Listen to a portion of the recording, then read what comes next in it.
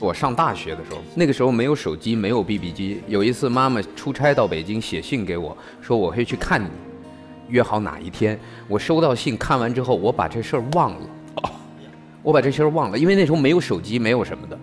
到了那一天，我在学校里忙忙乎乎上完课，又什么合唱团排练、戏剧社什么，到到晚上这突然想起来，我天，今天妈妈在那个招待所等着我呢。到晚上大概八九点钟。冲到对面那个招待所，一推开门，招待所停电，我妈妈一个人坐在那个招，那叫什么招待所？就是就就一小屋，一个床，一个小床头柜，坐在那儿，停着电，点着个蜡烛，在那吃方便面。我那时候不知道怎么了，就一句话没有，放声痛哭，怎么哄都哄不好，就那种就坐在床上就抱着妈妈就哭。第一回愧人子，在那一瞬间。我觉得长大了，长大了。